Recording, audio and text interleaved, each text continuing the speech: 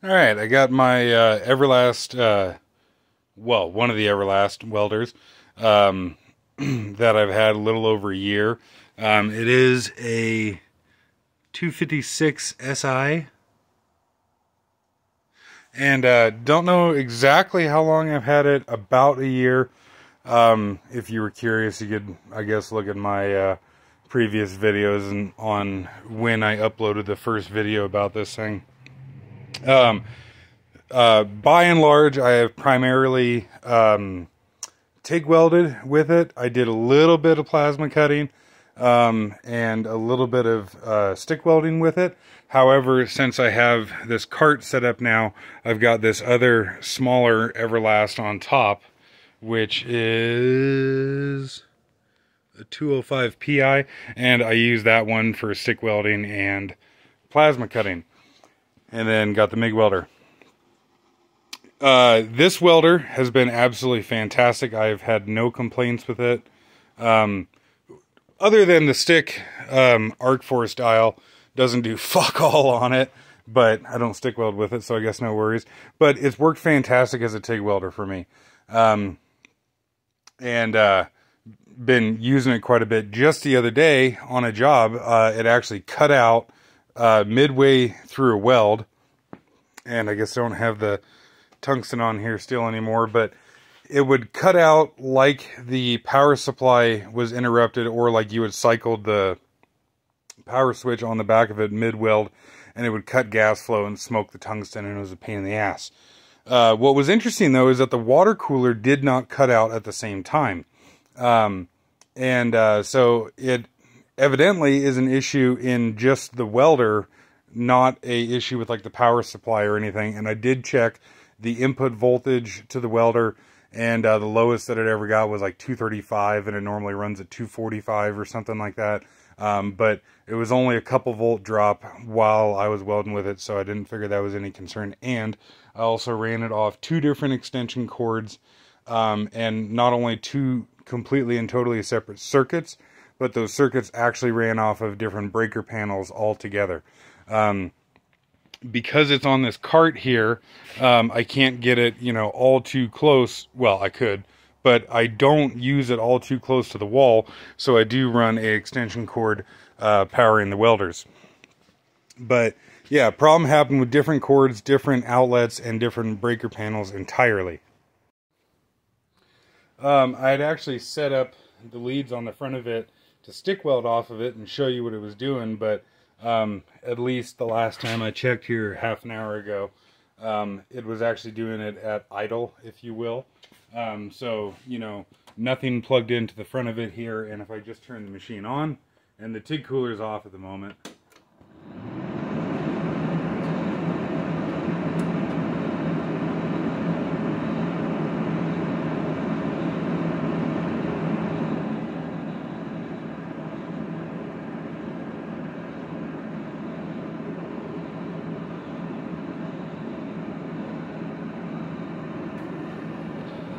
guess I'll give it a minute here and see if it does it and start the video again if it does it.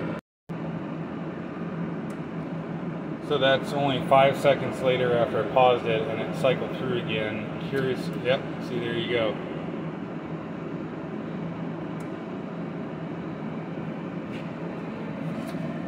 And if I come down here and turn the water cooler on,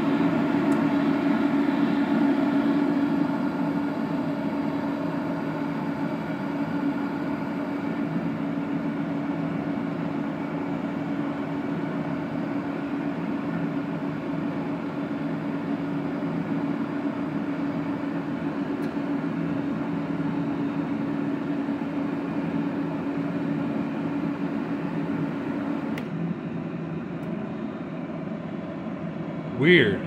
Maybe the water cooler has some effect on it? Maybe, I don't know. I'll actually unplug it from the rear. Okay, so that's with the water cooler unplugged and it's still doing it.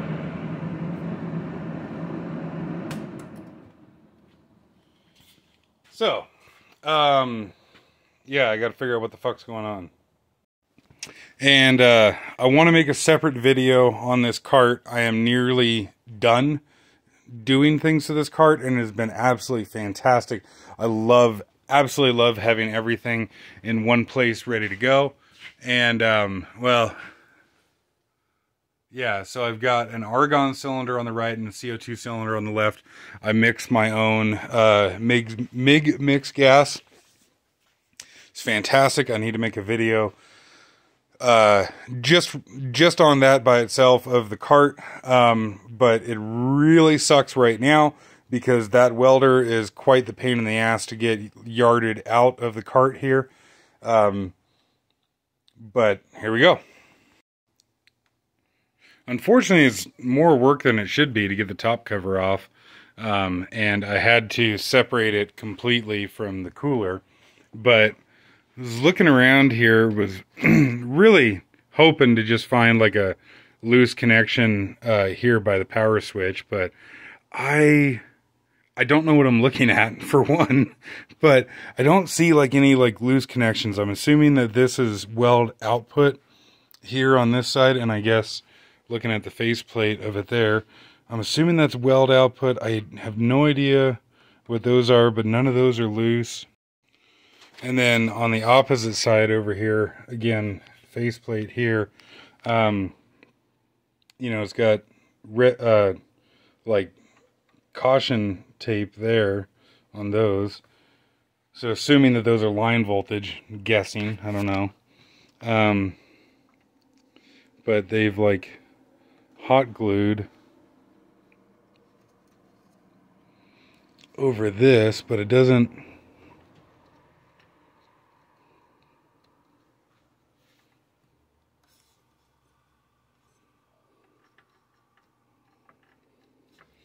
doesn't seem loose. So I guess that isn't going to be the case. I might just blow this thing out, see if I get lucky with that, and if not, I don't know, I'll keep poking around on it. Well, it wasn't very dirty, but I blew it out anyways, just to see. I did notice this little relay down here, and when when it does this little freak out thing, I hear clicking. So I'd be curious to see if that relay is moving. Handy that it's transparent. And um, so I'll turn it on now.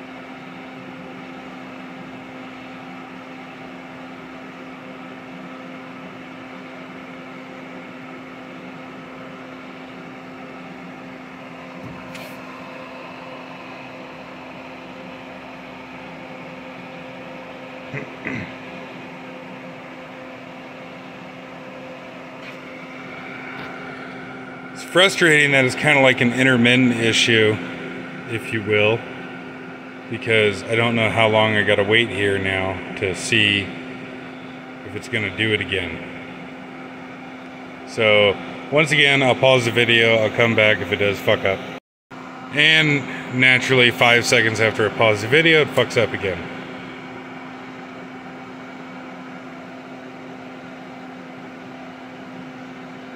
So is it going to continue to do that? Yes, it is.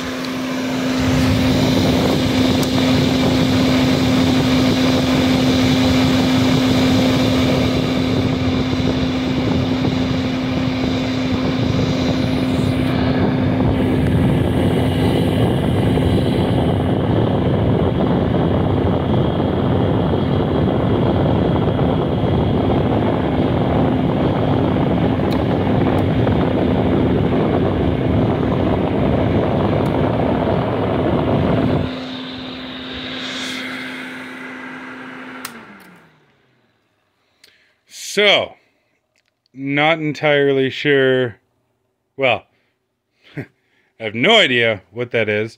Um, I guess I'll have to call Everlast in the morning and see what they say. But uh, in the meantime, I'll upload this video.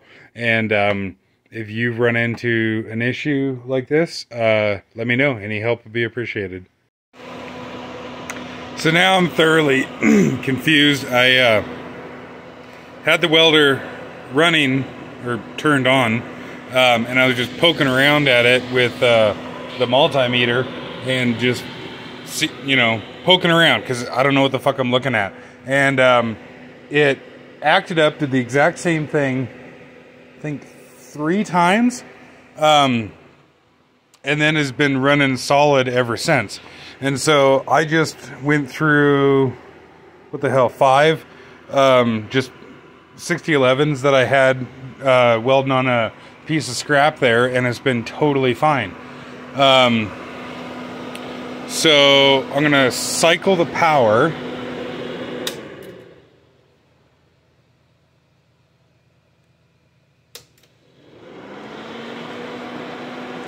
And see if it fucks up again. Which I'll make you wait through this one this last time and then I won't do it again. Um,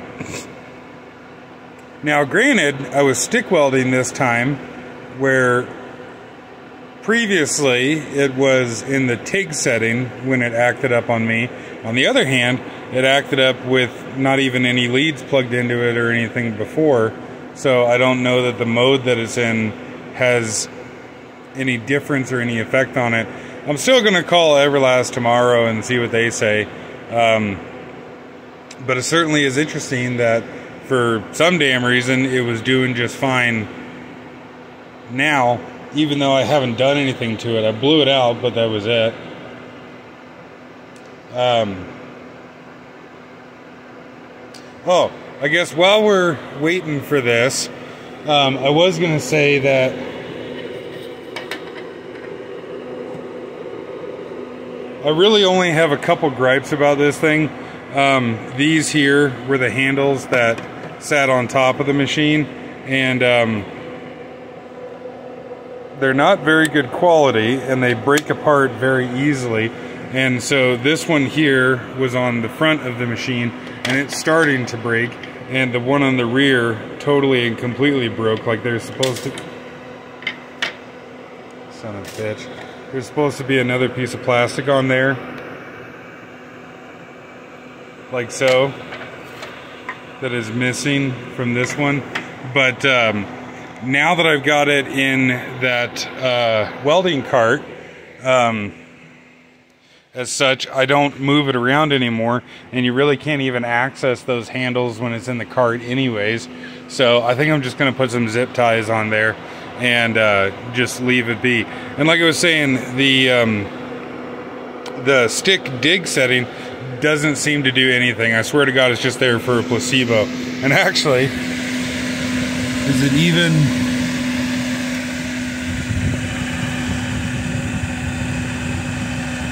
So I guess it is actually hooked up to the board. Um, it has so little effect, if any, that you know I would have guessed that it wasn't even hooked up to the board. Um, that's frustrating. It'd be really nice if it did um, have an effect. Um, and I made a video earlier talking about it, but on one hand, I kind of wish I didn't buy this. Um, not to say that like I'm unhappy with Everlast or anything, but I wish I got the 325 SI, I think it is. Uh, this one here is a 250 amp welder, or it's a 315 LX or something. But anyways, I, I wish I got the bigger, more powerful uh, TIG welder. This one is stick TIG plasma. Um, the other one that I'm talking about is just stick TIG and no plasma cutter. Um, hindsight, this one isn't actually enough power for what I want TIG welding sometimes. Um, and if I remember right, the 315 LX, I think, does actually have a specific 6010 function on it. Um, but other than that, this thing has been great. And it's interesting that standing here talking, I guess I'll turn it off now. Standing here talking, jacking my jaw, um, it didn't fuck up. So what's the deal? Um, I'm not going to put all the covers on it just yet. Um, I will still call Everlast tomorrow and see what they say. Um, but, you know, if uh, somebody's got some insight on it, like I said, I'd love to hear it. And uh, for what it's worth, there you go. Keep thinking I'm going to end this damn video and then I don't. Um, so I've got a quarter inch, uh, well, quarter inch diameter no, fuck me. 3 16ths. Uh, 3 16ths inch diameter.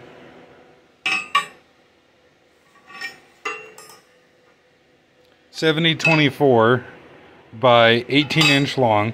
Um, wish I could say that about myself.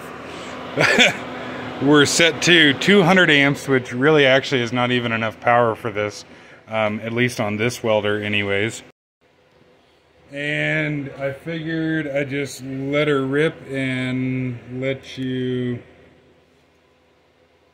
see what happens if you were so inclined.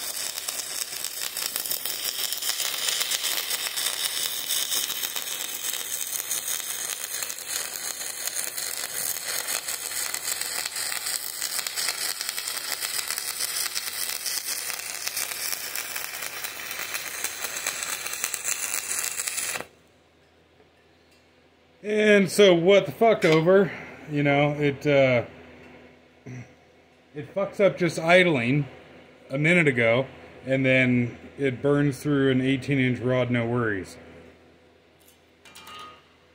So what the hell? Um, well,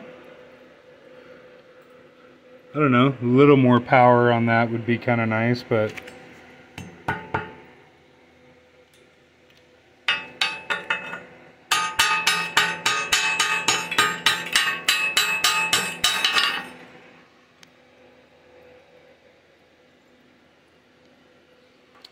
Yeah. I don't know what to make of that.